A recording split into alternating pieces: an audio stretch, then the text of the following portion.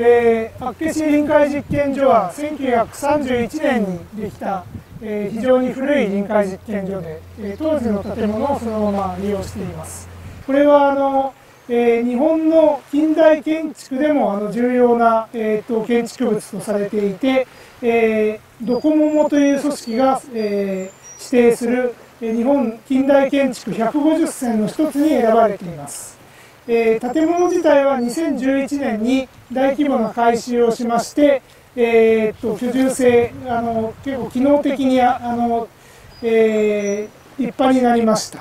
が、えー、建物の自体は1931年のからのものをそのまま使っています。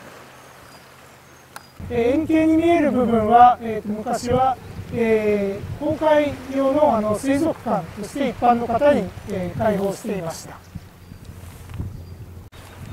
えー、臨海実験場にもう一個建物がありまして、えー、こちら左手北側にある、えー、3階建ての建物は、えー、臨海実験所の実習と宿泊のための、えー、建物です、えー、臨海実習の時はこちらで主に、え、活動をします。厚岸臨海実験所は厚岸湾の東岸にえー、位置しています。で、厚岸湾は、あの、親潮の影響を受けた非常に、あの、日本でも一番あの水温が低いところにある、えー、臨海実験所です。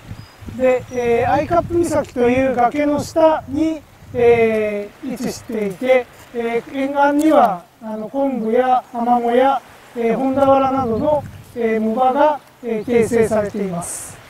えー、先端あの湾の奥の方に湾の先方には大黒島という島があって、えー、その先はあの太平洋の外洋につながっています。えー、臨海実験所周辺の、えー、浅い海はあの非常に良好な藻場になっています。えー、今見えているのは、えー、昆布それから、えー、ウガノモクという海藻の、えー、群落です。えこの中にアイナメやいろんな魚が生息しています。え、砂浜域には、え、海草、え、シーグラスからなるアマモ場が形成されます。え、ここは京泉場のすぐそばなんですが、え、最近アマモが繁茂するようになりました。え、ただしあの決してこの中に行きますともっとえー、広い雨雲が広がっています。それはまた、えーと別に紹介したいと思います。